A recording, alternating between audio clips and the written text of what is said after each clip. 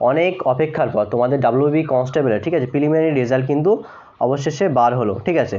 দেখো এখন কিন্তু আমি যেটা অফিসিয়াল ওয়েবসাইটে রয়েছে, সেখানে আগে পুরনো ওয়েবসাইট ডাব্লিউবির এখানে কোনো কিন্তু আপডেট কিন্তু নেই।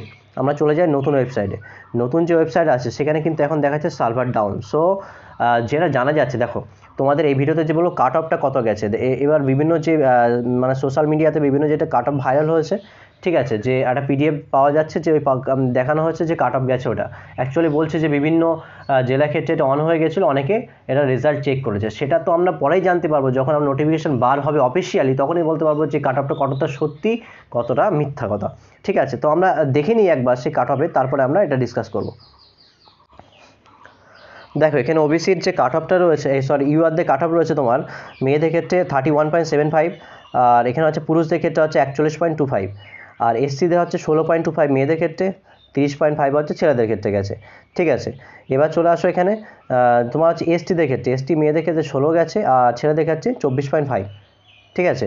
অ্যান্ড লাস্টে যেটা আছে ওবিসি এর ক্ষেত্রে মেয়েদের ক্ষেত্রে এটা গেছে ষোলো পয়েন্ট ফাইভ আর ছেলেদের ক্ষেত্রে ত্রিশ পয়েন্ট সেভেন ফাইভ।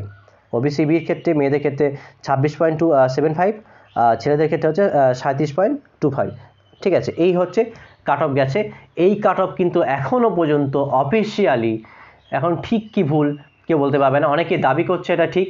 সো আমরা দেখব আজকে, আজকের মধ্যে কিন্তু আপডেট হয়ে যাবে তোমাদের ডাব্লিউবি কনস্টেবলের রেজাল্ট সবাই চোখ রাখো অফিসিয়াল ওয়েবসাইটে অফিসিয়াল ওয়েবসাইটে যদি যখন সার্ভার ঠিক হয়ে যাবে ঠিক আছে ক্রাউড এখন অনেকটা বেশি সবাই চেক করছে বলে সার্ভার ডাউন দেখা যাচ্ছে।